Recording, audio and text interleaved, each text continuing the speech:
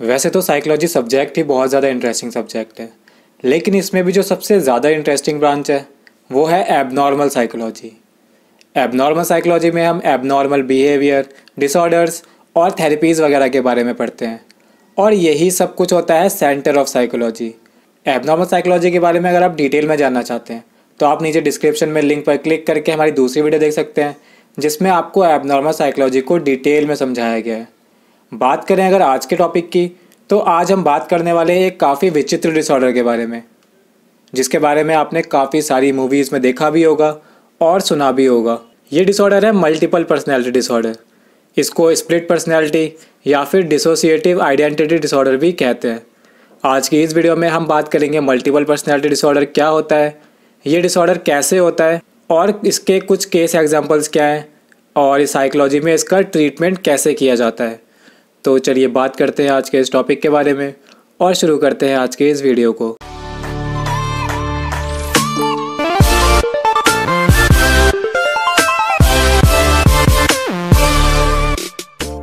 एकाधिक व्यक्तित्व विकार, यानी मल्टीपल पर्सनैलिटी डिसऑर्डर ये एक ऐसा डिसऑर्डर है जिसके बारे में सुनने पर तो ये बहुत अजीब लगता है, लेकिन अगर आप इस पर ध्यान दें तो we all have more than one personality जो कि एक नॉर्मल बात है। अब इस डिसऑर्डर में ऐसा क्या होता है? जो कि ये एबनॉर्मल है।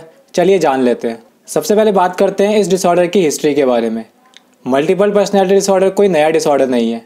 इसका इतिहास कई सालों पुराना है। काफ़ी टाइम से ये डिसऑर्डर चला आ रहा है। बस फ़र्क इतना है कि आज के टाइम में लोगों को इसके बारे में पता लगता है तो वो साइकोलॉजी की मदद लेते हैं और अपना ट्रीटमेंट करा लेते हैं।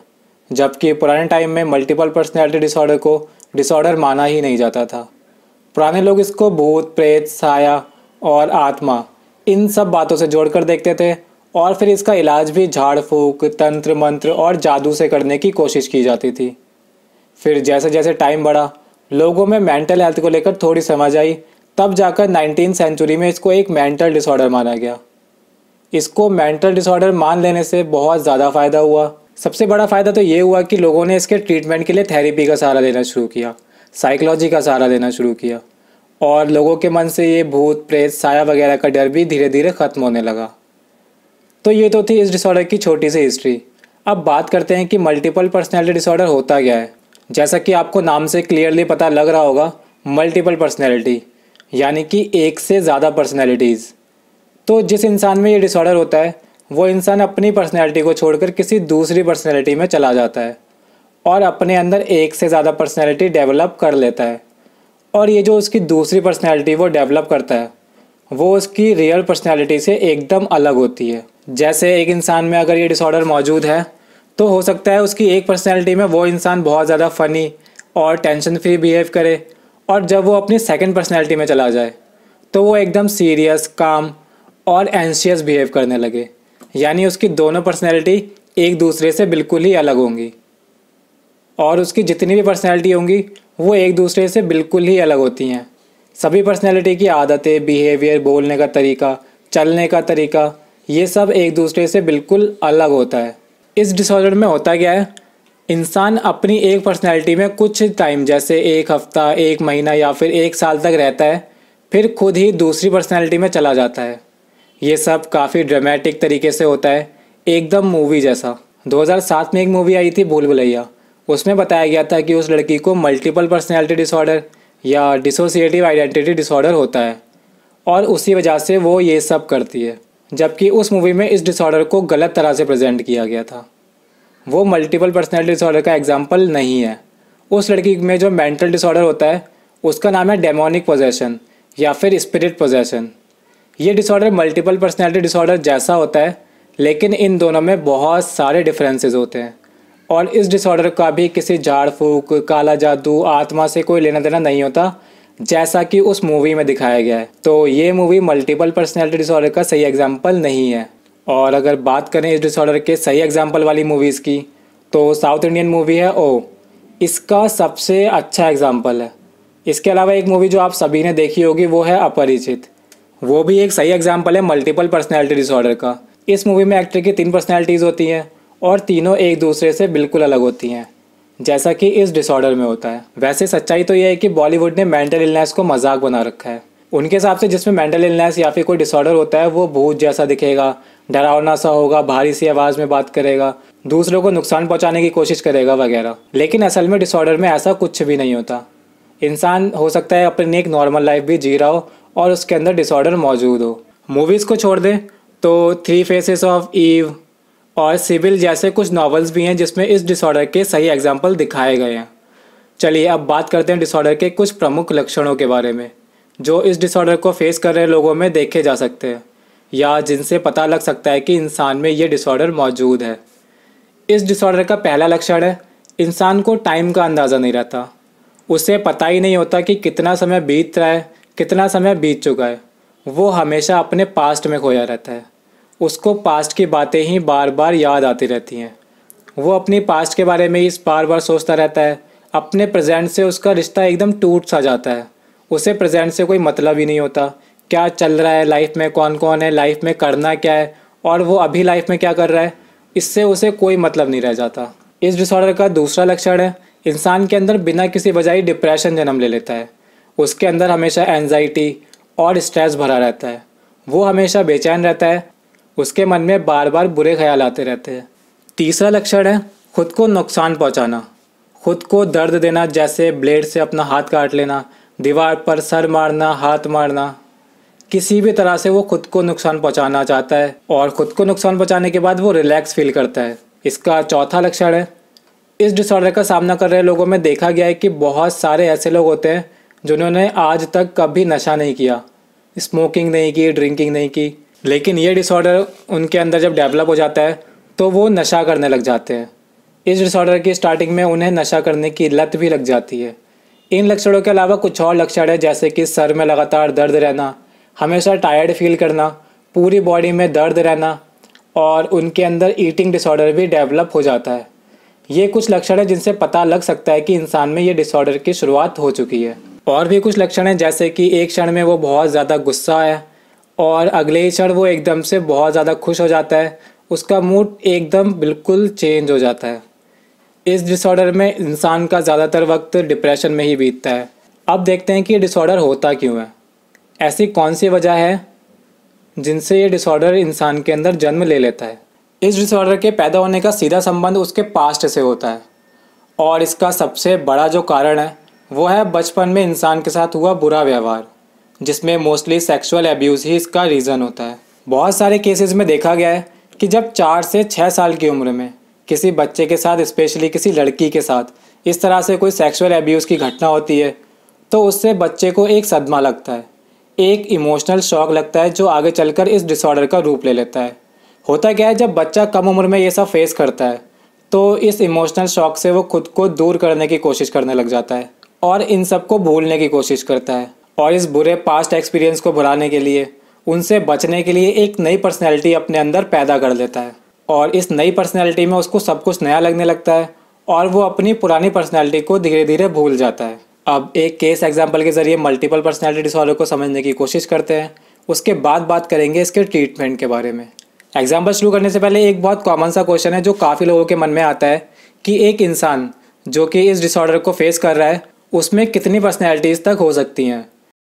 इस क्वेश्चन का आंसर देने के लिए एक स्टडी की गई थी रॉस के द्वारा, जिसमें पाया गया कि ऑन एन एवरेज एक इंसान में पंद्रह पर्सनैलिटीज़ तक पाई जा सकती हैं। लेकिन एक केस जो काफ़ी ज़्यादा लाइट में रहा था, वो था त्रुडी चेज का केस जिसमें त्रुडी नाम की इस लेडी में 92 अलग अलग पर्सनैलिटीज़ पाई गई। त्रुडी एक अमेरिकन ऑथर थी, जिन्होंने अपनी ऑटोबायोग्राफी में इस डिसऑर्डर के बारे में खुद से बात की। उन्होंने अपनी इस ऑटोबायोग्राफी में बताया कि बचपन से ही उनके स्टेप फादर उनको वायलेंटली सेक्सुअली और फिज़िकली अब्यूज़ करते थे। और उनकी टीन एज में उनकी मॉम ने भी उनको कभी सपोर्ट नहीं किया। हमेशा उनको इग्नोर किया गया, जिस वजह से उनके अंदर ये डिसऑर्डर डेवलप होने लगा। इसी तरह से एक और एग्ज़ाम्पल है इस डिसऑर्डर का। वो है जूली का example Julie was a thirty six year old married women उसका एक आठ साल का स्टेप सन था एडम एडम बार बार एक ही क्लास में फेल हो रहा था। जिस वजह से जूली को लगा कि उसे अपने बेटे के साथ साइकोलॉजिकल क्लिनिक में जाना चाहिए। सेशन चल रहा था एडम का, और इसी भी साइकोलॉजिस्ट को जूली के अंदर कुछ ऐसे साइंस मिले कि उसे जूली के बारे में डिटेल में जानना पड़ा। फिर जूली के सेशन स्टार्ट हुए। जूली एक बहुत सिंपल घर बार पे ध्यान देने वाली फैमिली का ध्यान रखने वाली महिला थी। लेकिन सिक्स सेशन के बीच में उसने साइकोलॉजिस्ट को शॉक कर दिया। उसने अपने साइकोलॉजिस्ट को बोला कि वो चाहती है कि इस सेशन का हिस्सा कोई और भी बने।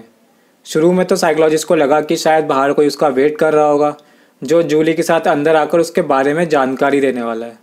लेकिन उन्होंने देखा कि जूली ने अपनी आँखें बंद कर ली और कुछ टाइम बाद धीरे धीरे अपनी आँखें खोली। आँखें खोलते ही जूली का एटीट्यूड बिल्कुल चेंज हो चुका था। उसने खुद को जैरी बताया और अपने मुँह से सिगरेट निकाल के उसे बुझाते हुए कहा कि वो चाहती है कि जूली स्मोकिंग ना करे।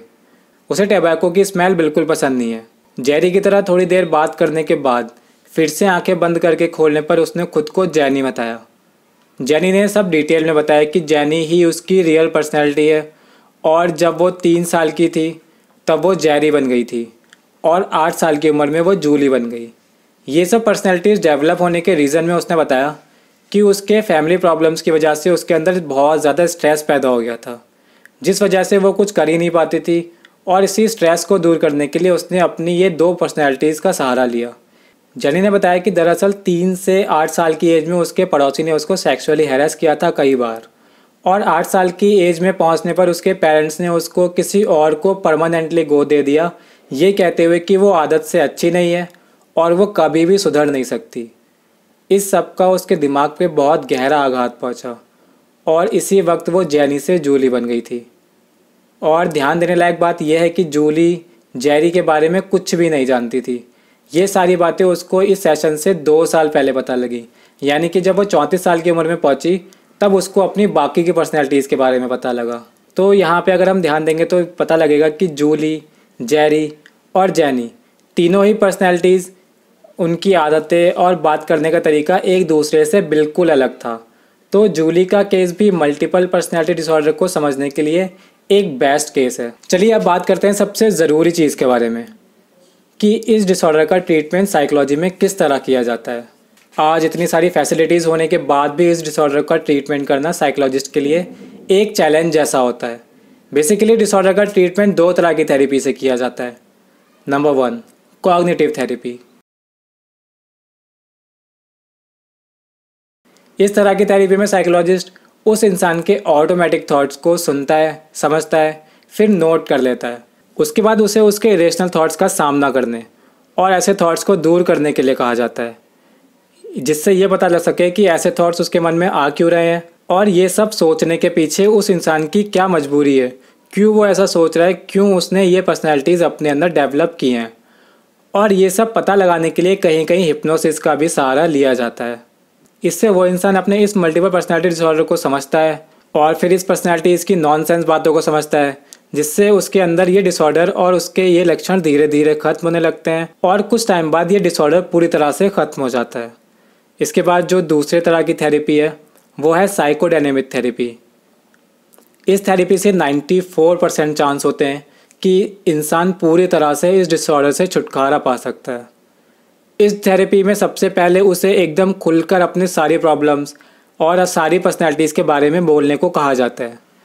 फिर उसे एक एक करके उसकी सारी पर्सनैलिटीज़ से अवगत कराया जाता है और उसे कहा जाता है कि वो अपनी सारी पर्सनैलिटीज़ की सारी बातें ध्यान रखे। यानी ये ध्यान रखे कि कौन सी पर्सनैलिटीज़ उसे क्या करने को कह रही है। इस प्रोसेस के बाद उसे ये विश्वास दिलाया जाता है कि उसकी एक ही बॉडी है, एक ही सोल है एक ही माइंड है जिसमें अलग अलग तरह की पर्सनैलिटीज़ का होना बस एक भ्रम है। ये जो भी पर्सनैलिटीज़ के बारे में वो सोच रहा है, वो सब उसका सिर्फ़ एक वहम है। बस एक बकवास है। दरअसल ये जो आपकी अलग अलग पर्सनैलिटी है, वो आपके खुद के द्वारा अपने बचपन में खुद को सेल्फ हिप्नोसिस करके बिना किसी कारण के बनाई गई स्यूडो दुनिया है, जिसकी आपको रियलिटी में कोई ज़रूरत नहीं है। और क्योंकि अब आप एक एडल्ट हैं और आपके अंदर आपकी खुद की पर्सनैलिटी के अंदर, आपकी रियल पर्सनैलिटी के अंदर इन सब प्रॉब्लम से निपटने की पावर मौजूद है। इन सब का रिज़ल्ट ये होता है कि इंसान अपनी रियल आइडेंटिटी को ज़्यादा वैल्यू करने लगता है। अपनी रियल आइडेंटिटी रियल पर्सनैलिटी को अहमियत देना शुरू कर देता है और फिर कुछ टाइम के बाद डिसऑर्डर के सारे लक्षण धीरे धीरे कम होने लग जाते हैं और एक समय के बाद ये डिसऑर्डर पूरी तरह से ख़त्म हो जाता है। ये थेरेपी हमेशा काम करती है। इससे डायग्नोज किए गए मोस्टली केसेस हमेशा सॉल्व ही हुए हैं और ट्रीटमेंट कराने वाले को हमेशा फ़ायदा हुआ है। तो दोस्तों, ये थी complete information multiple personality disorder के बारे में। वीडियो को शेयर ज़रूर कीजिए, जिससे इसका ट्रीटमेंट ज़्यादा से ज़्यादा लोगों तक पहुँच सके। और मेंटल हेल्थ से रिलेटेड आपके मन में कोई भी विचार है तो नीचे कमेंट बॉक्स में शेयर कर सकते हैं, या फिर आप हमें इंस्टाग्राम पे मैसेज करके हमसे शेयर कर सकते हैं। वीडियो हेल्पफुल लगी हो तो वीडियो को लाइक ज़रूर कीजिए। और साइकोलॉजी से जुड़ी हुई इंटरेस्टिंग और इन्फॉर्मेटिव वीडियो देखने के लिए सब्सक्राइब कीजिए द साइकोलॉजी क्लासेस को और साथ में प्रेस कीजिए बेल आइकन को। हम जल्दी मिलेंगे आपसे एक नए टॉपिक एक नई वीडियो के साथ। तब तक के लिए जुड़े रहिए द साइकोलॉजी क्लासेस के साथ। Thank you